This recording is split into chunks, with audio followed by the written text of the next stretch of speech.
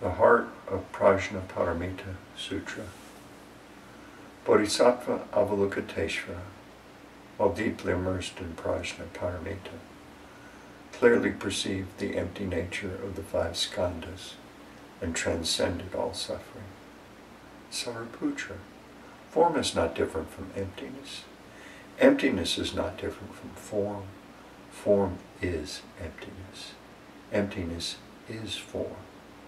So it is with feelings, conception, volition, and consciousness. Sariputra, all dharmas are empty in character, neither arising nor ceasing, neither impure nor pure, neither increasing nor decreasing. Therefore, in emptiness there is no form. There's no feeling, conception, volition, or consciousness.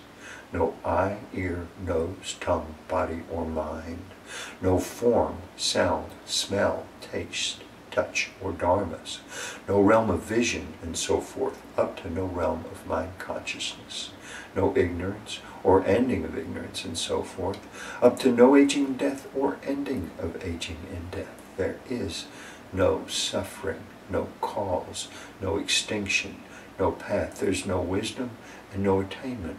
There's nothing to be attained. By way of prajnaparamita, the bodhisattva's mind is free from hindrances. With no hindrances, there is no fear.